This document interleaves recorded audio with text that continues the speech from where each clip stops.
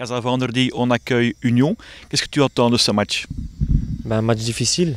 Euh, L'Union, c'est une bonne équipe. Euh, on sait qu'il y a quelques joueurs qui partent en, sélection, comme nous.